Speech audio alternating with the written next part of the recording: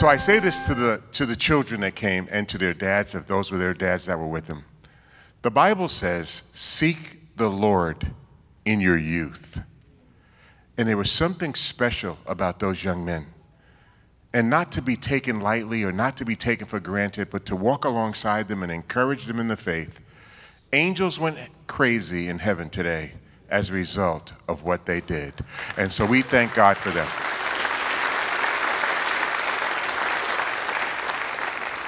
And then when Brennan was sharing those words about his dad, and then your response, but it was kind of a scattered response because not everybody has a great relationship with their father. And so God's word says, you know, you have many teachers, but not many fathers. And then the Bible also says, if your father and mother forsake you, the Lord Himself will lift you up. Look at your neighbor, say, neighbor. neighbor. Your neighbor's the person seated next to you. Say, neighbor. Who's your daddy? and the great thing is, is that Jesus' daddy is our daddy, and he delights in that. And there, and there are, are no illegitimate children in the family of God. That Paul, John says, here and now are we the sons of God. Amen? Okay, so for those of you who never heard me speak, the person next to you, that's your neighbor, you'll be talking to that person. Ephesians 4.25 says, cease them with lying and tell your neighbor the truth because we're not separate units but intimately united in Christ. Amen? I think that's God's way of saying be real with each other. I'm going to have you raise your hand, confess some of the sin that's in your life. Dang. Look at your neighbor, say, neighbor. Oh, don't act like you don't have sin in your life. James 5:16 says, "Confess your sins one to another and pray for each other that you can be healed." Now I know John writes, "I write these things to you that you don't sin, but if you do, you have an advocate with the Father." But James knows better, and he knows we're gonna have some stuff, and we need to talk to somebody about that. Amen. Amen. Say, neighbor. neighbor. Don't act like you don't know what that brother's talking about.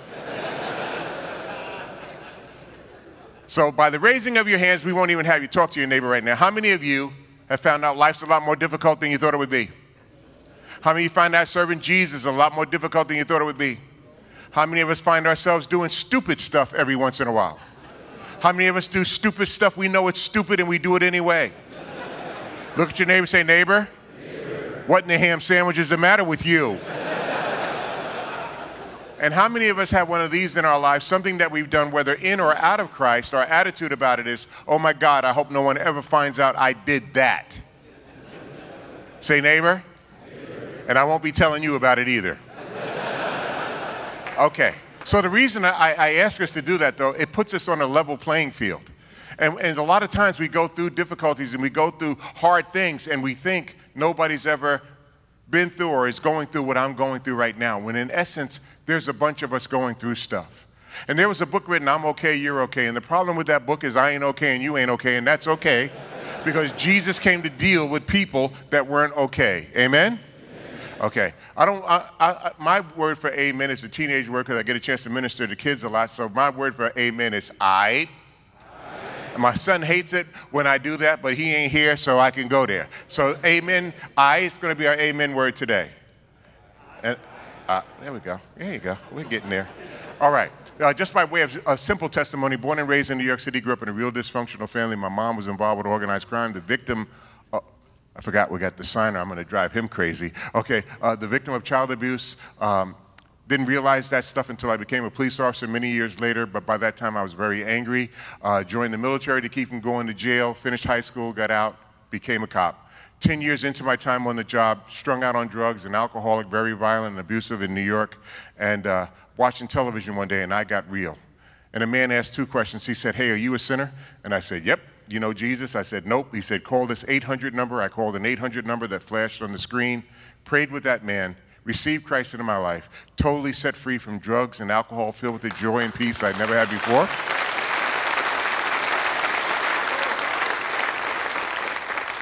And the Lord completely turned my life around. My wife came home from shopping. I met her at the door. I said, Claudia, this is the new me. Jesus came into my life. I'm born again by the Spirit of God. My name's written in the Lamb's Book of Life. I'm a new creation in Christ. Because also that stuff that man told me on telephone. Say neighbor. neighbor. Never say stupid stuff to a black woman.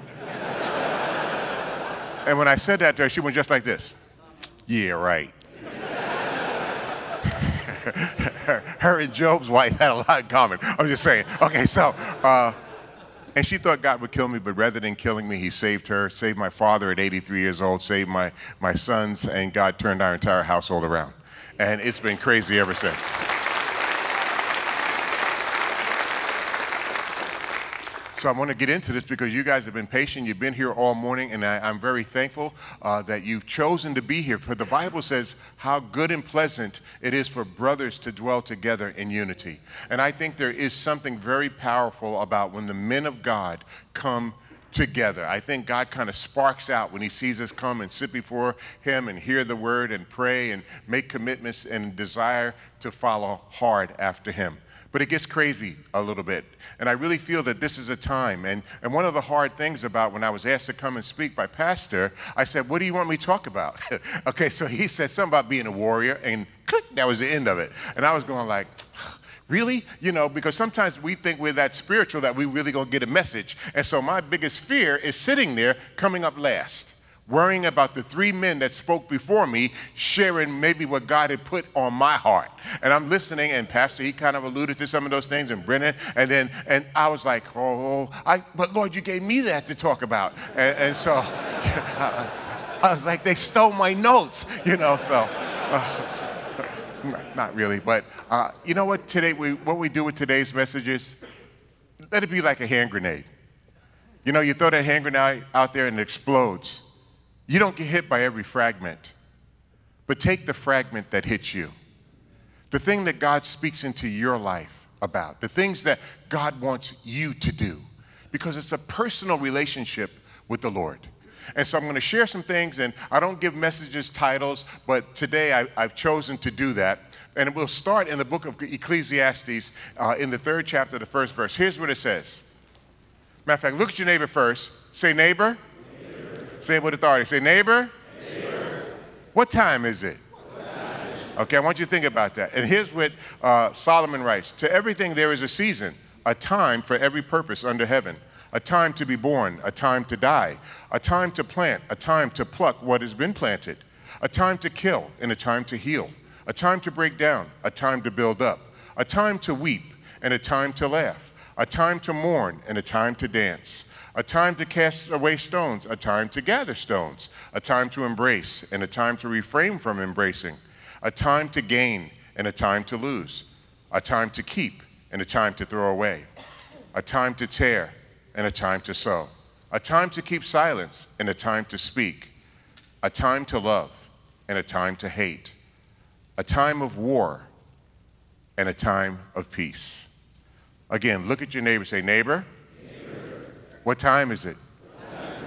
Say, neighbor, neighbor, it's time to go to war. And I want us to think about some things as the men of God that you and I are in a war. And you know, a lot of times you, in, when wars are raging, you know, we just celebrated Memorial Day, and I, I looked at that man in the 82nd Airborne who was 93 years old, who went up on a plane and jumped out again. I was going like, who is that brother? But I think about him back on June 6 in 1944 when he and thousands and thousands of other men chose to fight for their nation, chose to put themselves in harm's way.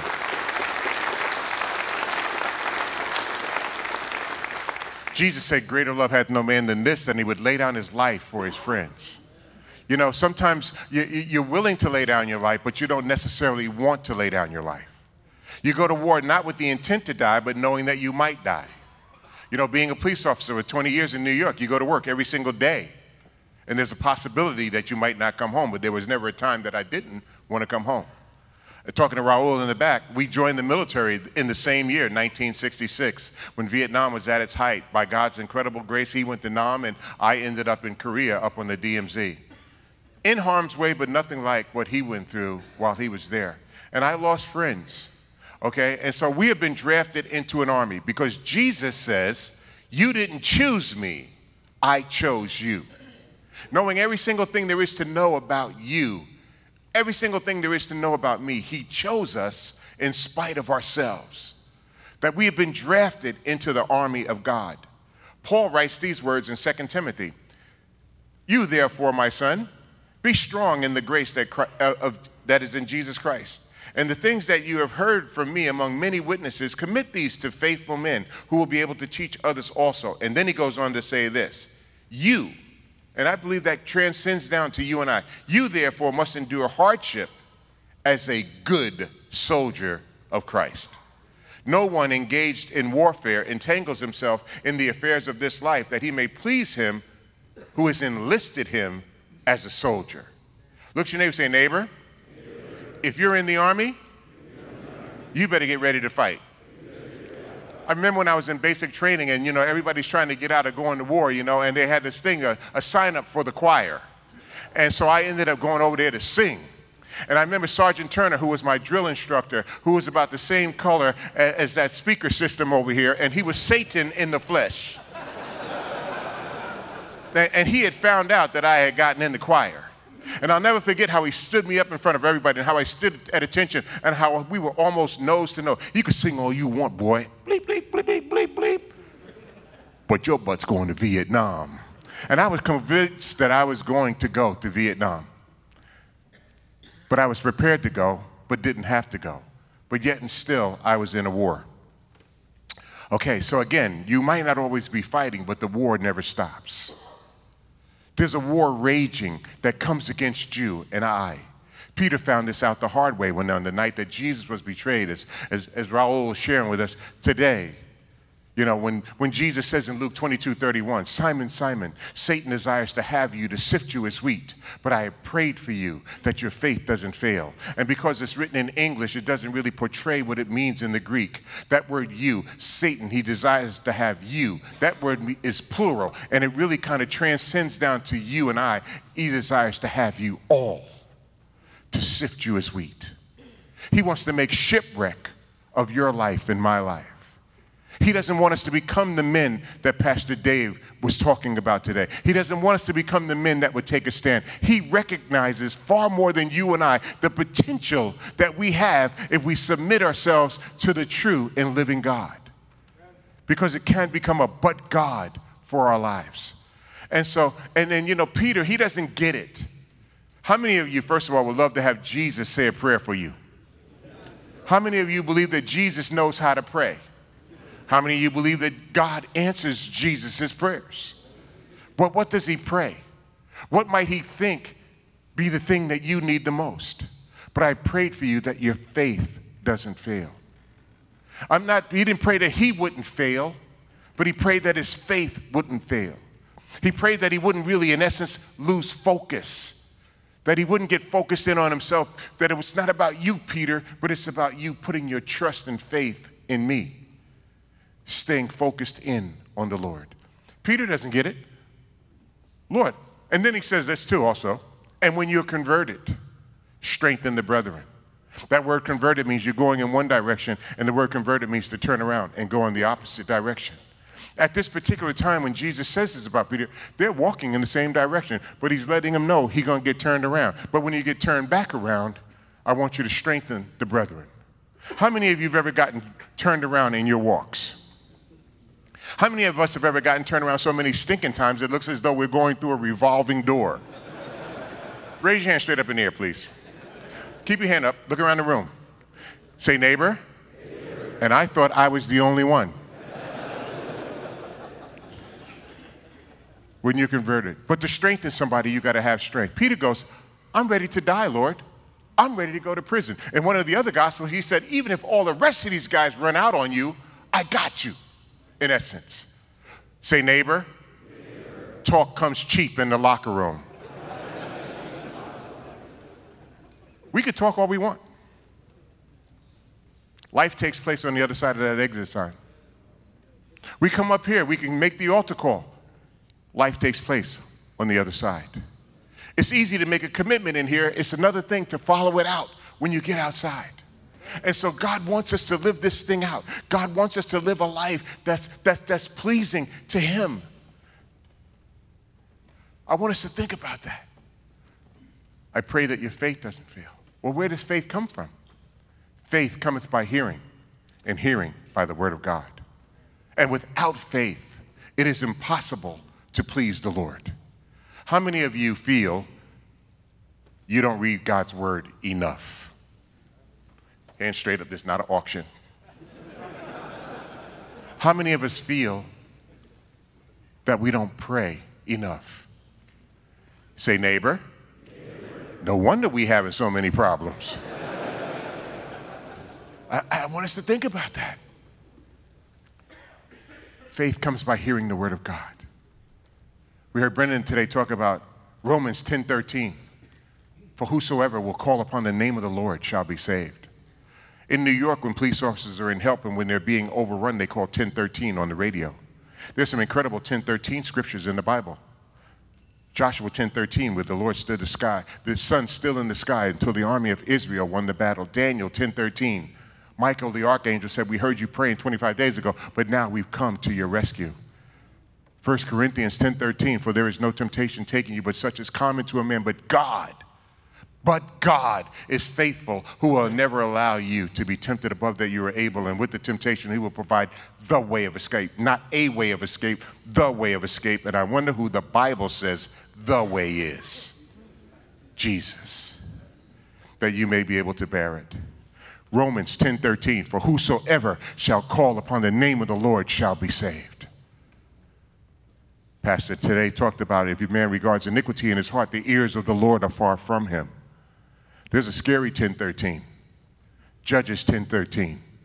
God speaking says, And you will call upon me, and I will not answer you, because you have forsaken me. We can continue to grieve the Spirit of God, and somewhere along the line, God will step back and He'll let you go through some stuff. He won't ever turn His back on you, He won't ever stop loving you, but sometimes we have to be taught a lesson. Anybody here ever been taught some lessons?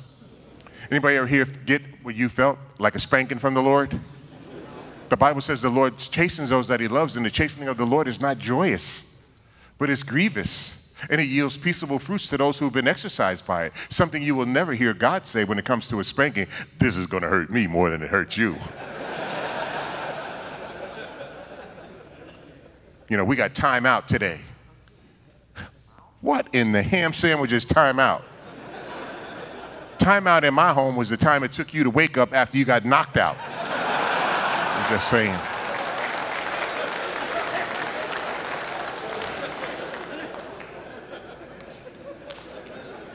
Let's try to keep this in house, okay? but I think about this. Philippians 2 5 in the Phillips translation says it this way Let Jesus Christ be your example as to what your attitude should be. Another translation, therefore, let this, word, let this mind be in you that's also in Christ. I think God says if you really want to see how to live life, check out my son Jesus. That we pattern our lives after Jesus. Paul said, Follow me as long as I'm following Jesus. And, and so Jesus shows up on the scene. Okay, he's the ultimate example. You know, remember when he was baptized by John in the Jordan? And, and, and, and the Spirit of God, God shows up.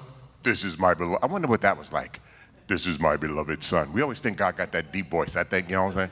Okay, this is my beloved son in whom I'm well pleased. He had never performed a miracle. He had never walked on water. He had never raised anyone from the dead. But if you take a look at his life from 12 years on, he was a person of the word. And seemingly, he was so much of the word that he was the word. For in the beginning was the Word, and the Word was with God in the same. That verse. All things were made by Him, and there was nothing made that wasn't made that wasn't made by Him. And the Word became flesh and dwelt among us. And we beheld His glory. The glory is of the only begotten of the Father. I think about that. I, I think about God's Word. And and he goes on. And so when Jesus is now baptized, and then he's led by the Spirit into the wilderness to be tempted by the devil. And you're going to be tempted. The Bible says, don't think it's strange, the fiery trials that come upon you. And to know that when you're tempted, you're not tempted by God because God doesn't tempt anyone. Neither can he be tempted, the Bible says. But each man is drawn away by his own lusts. And a lot of times, every time we hear the word lust, we always associate it with, with, with sex. Lust is just means strong desire, but strong desire for the wrong things.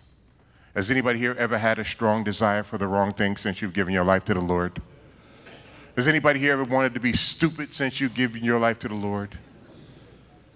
And so every time, every time he was tempted, it is written, it is written, it is written. But Satan knows the scriptures too. And, and, and so I want us to think about that. So here's what goes on.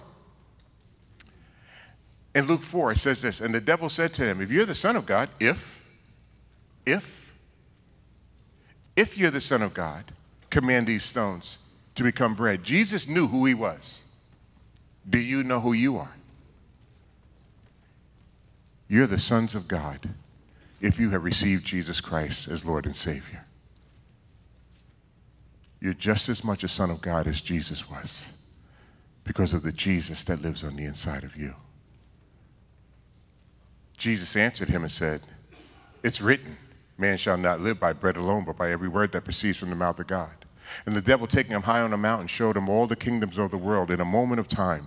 And the devil said to him, All this authority I will give to you, and the glory, for has been, this has been delivered to me, and I will give it to whomever I wish. Therefore, if you will worship me, it will all be yours. And Jesus says, Get thee behind me, Satan, for it is written. You shall worship the Lord your God, and him only shall you serve. Then he brought him to Jerusalem and set him on a high pinnacle in the temple, and he said to him, If you're the Son of God, throw yourself down from here. For it is written, now Satan talking, he shall give his angels charge over you to keep you. The Bible says, Study to show yourselves approved, workmen unto God, that needeth not to be ashamed, rightly dividing the word of truth. When I gave my life to the Lord, I was in an apostolic Pentecostal church. We were like the Shiites of the Pentecostal world. And it was legalistic and rigid. And they made you pray and they made you read the Bible. And I'm very thankful for that. But there came a day that I began to struggle. You know, the instant delivery from drugs and alcohol made me think I had arrived. I had yet, yet realized that I brought some baggage with me when I came to Jesus there were some other things that were kind of sitting dormant. And sooner or later, the enemy was waiting for the right opportunity to bring them to the surface. Everybody go like this. This is your spiritual glass. It allows you to look into the spirit realm. Okay, look at your neighbor. Say, neighbor, why are some people sitting there with their arms crossed? so everybody put one of these on. Put this on. Now look your neighbor up and down. Say, neighbor, Oh, you got more baggage than I thought you had.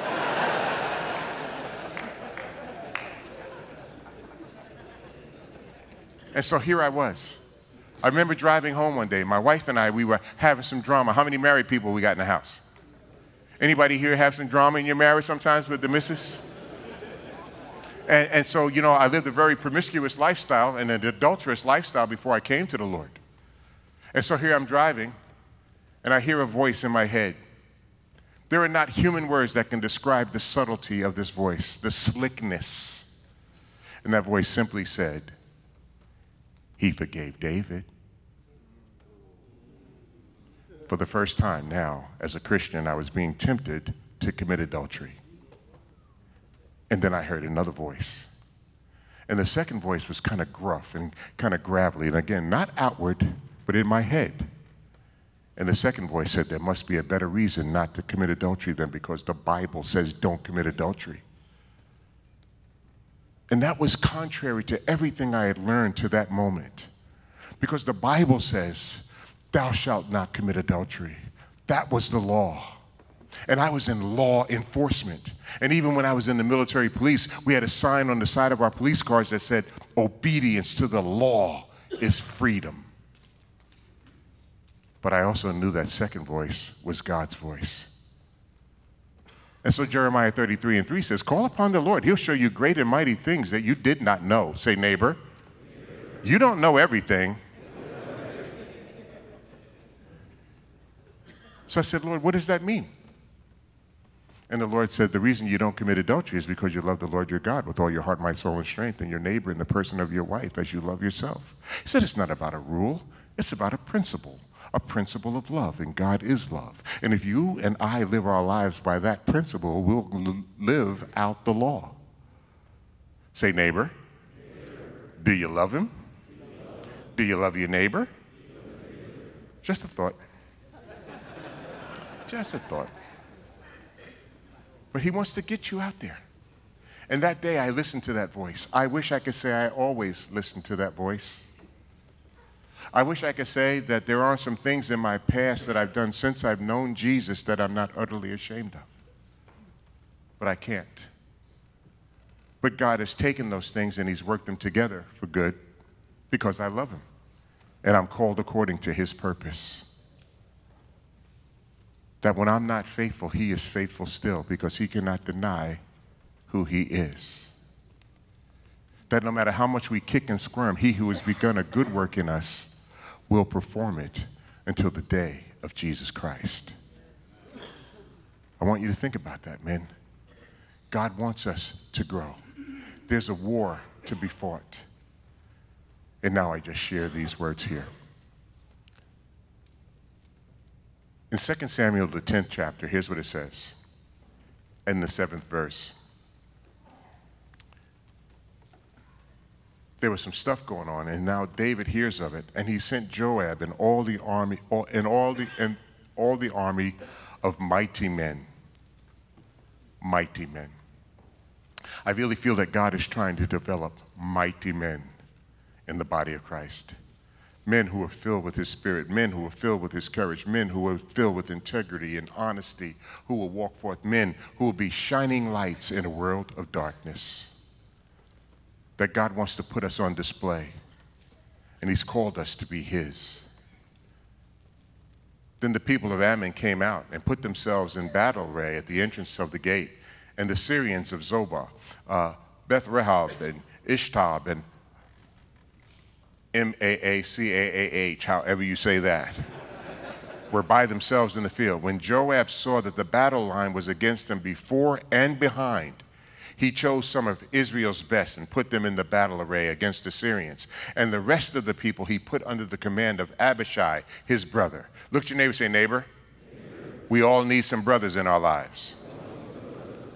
That he might set them against the people of Ammon. Then he said, If the Syrians are too strong for me, then you shall help me. But if the people of Ammon are too strong for you, then I will come to help you. We all need someone to have our back. You and I need men that will walk with us. We, you and I need men in our lives that we can walk with who will speak truth. The Bible says it's iron sharpens iron, so one man's countenance sharpens another. That we need guys in our lives that we could talk to, be real with, confess to, pray for, encourage one another in the faith, and to know that they're going to be there for us. Amen? Amen. Okay. Yeah, that's what I'm talking about. Okay. Now don't go home trying that on your kids, okay? You just keep that here. Then he goes on to say, Be of good courage, and let us be strong for our people and for the cities of our God. And may the Lord do what is good in his sight. In other words, we're going to fight these guys. I got your back, you got mine. But we're dependent upon the Lord. Jesus says, You can do nothing without me, John 15 and 5. I believe it is one of the most underscored scriptures in the Bible. I think that there are times that we'll go out, we'll pull up our bootstraps, we'll suck it up, and we'll say, I got this, only to walk away.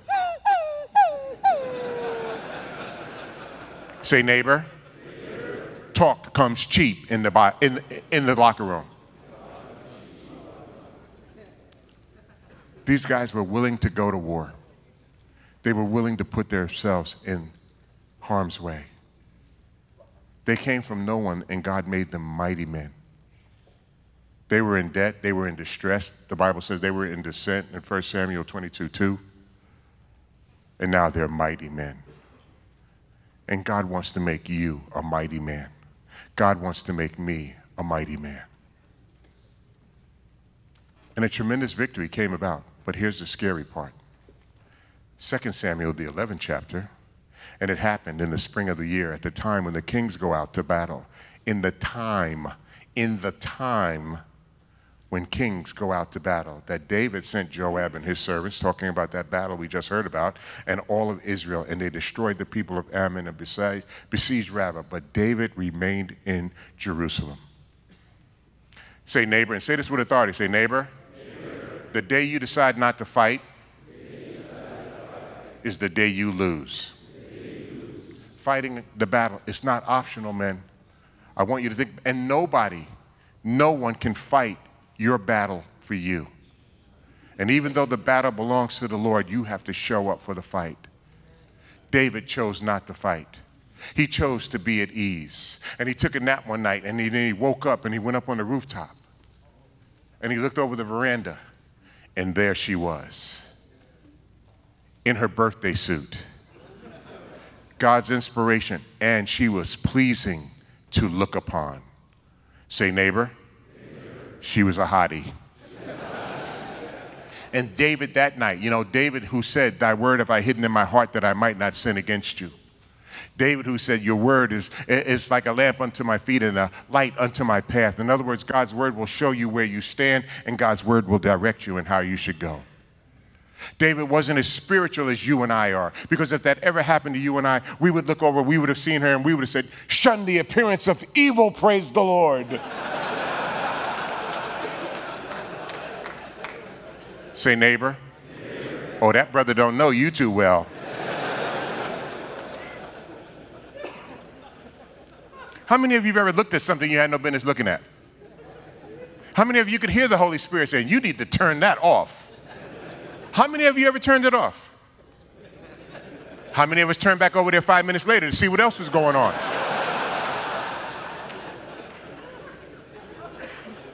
Sitting up late at night. Seinfeld said the last part of the human body to fall asleep is the finger that operates the remote control.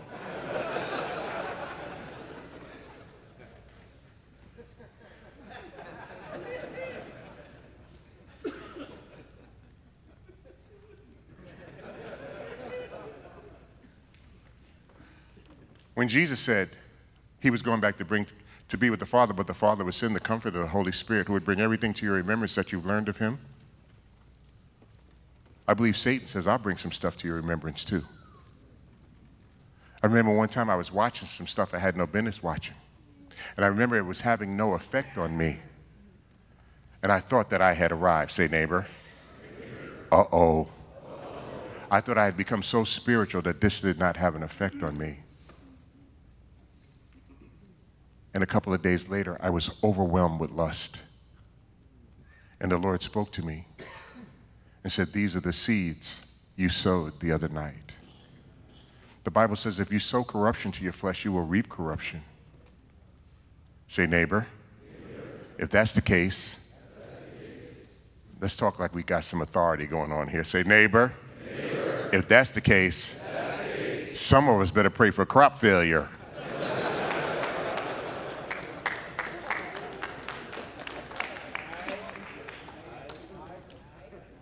It's a temptation, and it's prevalent in the church today. And I look back on some of the things that I've done inappropriateness, stepping over lines, relational lines. Even though this far and no further, this far was too far.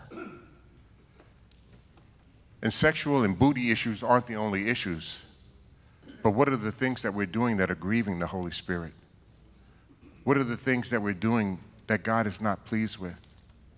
And we all know he inquired, Who is that? And she's the wife of Uriah the Hittite. And he, one thing leads to another, and, and they commit adultery. And in 1 Samuel, the 11th chapter, the 27th verse, and it says, This is how the Holy Spirit inspired it to be written. And that thing that David did displeased the Lord that there are things that we can do that God is not pleased with. Ephesians 4 says, Don't grieve the Holy Spirit. That nothing is, the Holy Spirit in you and I is, is not taken by surprise. He wants us to listen to Him, He wants us to lead Him. He wants us to follow him. One of the things that Jesus is most quoted as saying is, Follow me. And when Jesus says to you and I, Follow me, and he looks over his shoulder, he's expecting us to be there. The one thing the devil didn't tell me on the highway that day, and David suffered horrible consequences. And David brought calamity into his own household. And yet and still, he was the man after God's own heart. Yet and still, he had a fervor and a love for God. The Bible says in Kings, and David was faithful in everything that he did, except in the matter of Bathsheba, the wife of Uriah the Hittite. It's time for us to be men of God. It's time to walk in the Spirit that we won't fulfill the lusts of the flesh. It's time to be willing to take a stand for the Lord. That same Lord who took a stand for you and I. That in the economy of God, regardless of what you might think about yourself, regardless of what I think about myself, we were worth dying for. Jesus was sold out to us so that we would not have to be sellouts to Him. And so today, maybe today is the time that it starts. Maybe some of us have prayed this prayer, Lord, I know I told you I wouldn't do that again, whatever that was, but I've done it again. Please forgive me again. How many of us have prayed that prayer a lot? How many of us have been waiting for God to kill us? Say, neighbor, you're still here. You know why? Because the Lord is not slack concerning his promises, as some men would count slackness, but he's patient towards us, willing that we would come to repentance and not perish. The Bible says, He who is reproved often and hardens his neck is cut off suddenly, and that without a remedy. And coming out of this Pentecostal background, the thing I used to focus on, cut off suddenly, and that without a remedy. But before you and I ever get it cut off suddenly and without a remedy, God has spoken to us many times. Stop it. Don't do that. Don't say that. Forgive. Shut up. Shut up. How many of you have ever argued with your wife? I'm married a second time. My first wife died after 46 years. My second wife, we've been married four years. We've never had an argument. I don't understand that. Somebody said, Bill, you look for arguments. But in that first marriage, there was never an argument that I had with my wife where I did not hear the Lord say these two words Shut up. Why I got to shut up when I'm right? Why I got to shut up when I got a Bible verse to back up what I'm saying? the last thing your wife needs from you in an argument is a scripture shower. And the attitude usually that comes with that. As Brendan said, it takes two people to argue. Shh. Often it is better to be Christ like than to have to be right. What is he trying to do? Your children are watching. My children have watched. How many of you have ever come? To, well, I don't know where we're going here. How many of you, and I'm going to close up soon, how many of you have ever had an argument with your wife on the way to church? It gets crazy then, don't it? And you got them squirrels sitting in the back seat and they watching.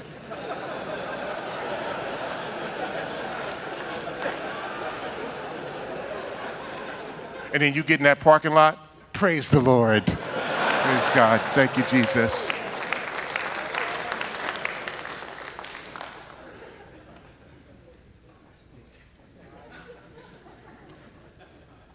They see that. They don't say anything, but it registers. And the Bible tells us that we don't want to discourage our kids. We don't want to provoke them to wrath. We don't want to be a stumbling block to them. Even though the Bible says stumbling blocks have to come, but woe unto those that bring them, for it would be better for a millstone to be hung around your neck and you thrown into the sea then you offend the least of mine. So important.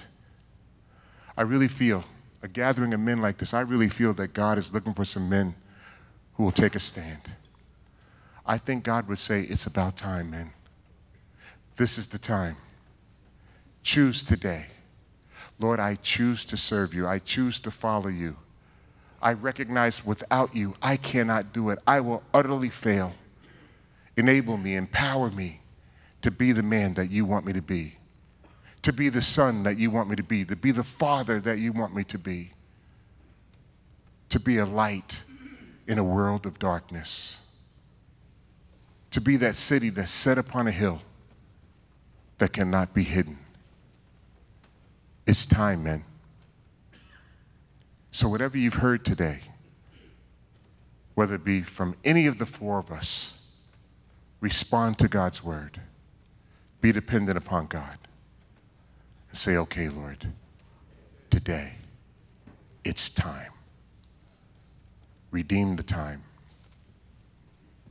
We heard from Raul this morning how they fell asleep. You know what the Bible says? Awake, thou that sleepest, and rise from the dead. It's time. Look at your neighbor, say, neighbor. neighbor. Now look at your neighbor. Look him in the eye. Say, neighbor, neighbor. I'm, serious. I'm serious. It's time, it's time. to do it God's way.